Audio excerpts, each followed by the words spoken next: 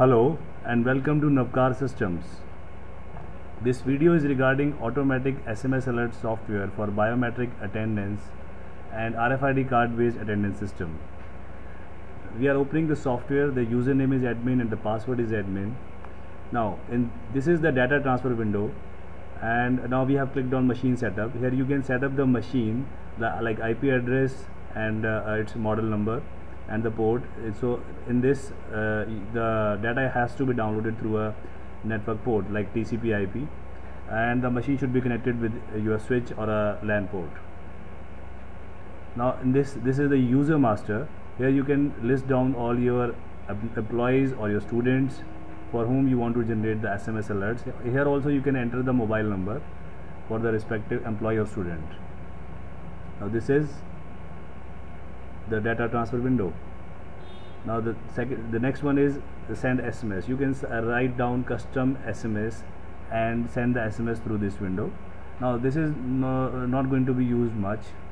Uh, this is like there are uh, different options. You can uh, send sms to the selected employees or students numbers.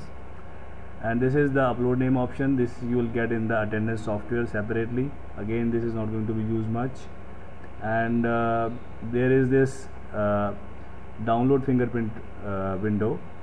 Uh, you can again download the fingerprint and then through the second option the upload fingerprint you can upload the fingerprints to the machine.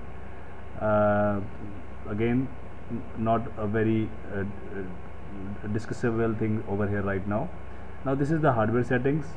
And now the most important part is the download setup now here you can uh, specify the option for example when you want to send the SMS for present for absent for uh, late coming for on leave.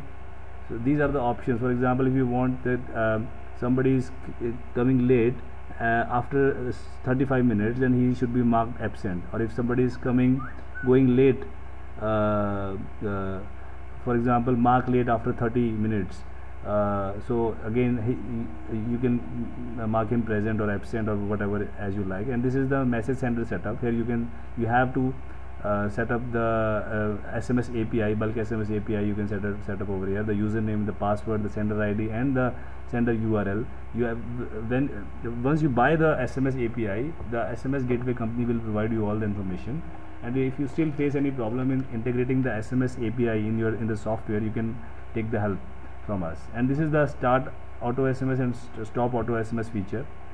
In this feature uh, using this uh, you can enable the start and stopping of SMS automatically. For example when the software turns on and you want to turn on the automatic SMS then you can do it from this option. And vice versa.